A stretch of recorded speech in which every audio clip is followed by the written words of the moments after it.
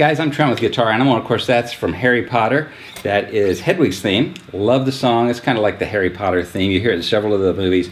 I uh, really, really like it. Wanted to bring this one to you. You know, Halloween's coming up, so thought it might be a lot of fun to play this. I arranged it for single notes. It's pretty much a beginning arrangement, so people that haven't played for very long can approach this.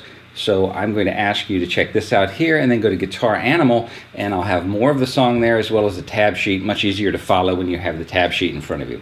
So let's get right to this. We'll be playing single notes. Going to pretty much be playing on just the first three strings of the guitar, so that makes it a lot easier. Your guitar is now a three-string guitar instead of a six-string, half the strings to deal with.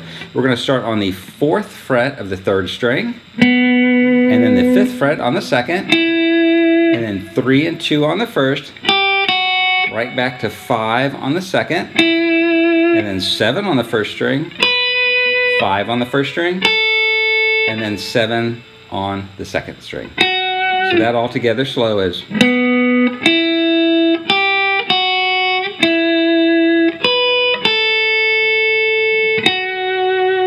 then we go right back to the fifth fret on the second string, three, two on the first, four on the second, then the sixth fret on the second, and then fourth fret on the third. All right, so all that together slow.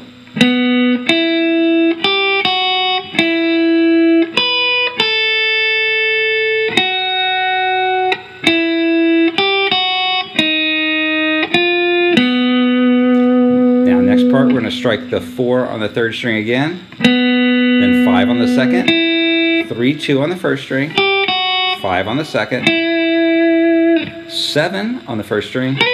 This time we're gonna go all the way up to the 10th fret on the first string, and then nine, eight, all in a row there, and down to four on the first string, then eight on the first string, seven and six, all on the first string, open second, third fret on the first, ending on the E note, fifth fret on the second string.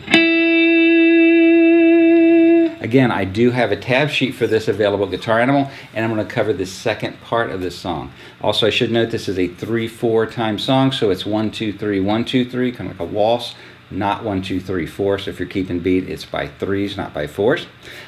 Let us know what you think. Come check us out at Guitar Animal. I'm Trent. Hope to see you there.